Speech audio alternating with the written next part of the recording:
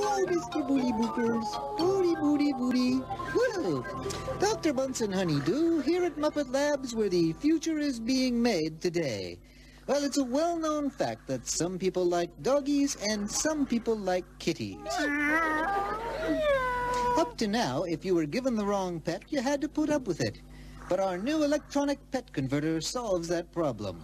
My assistant Beaker is putting an unwanted kitty into the converter. Yes, go.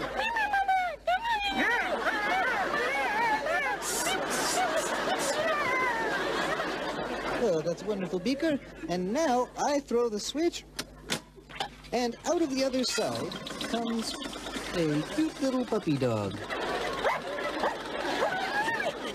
And if you happen to like kitties instead of doggies, the converter works the other way. Show them, Beaker. Now you can go get your kitty on the other side. Oh, oh, there. Oh, there seems to be some sort of problem. Oh, oh. The important thing to remember is that anything that passes through this door is turned into a puppy dog. Whoa!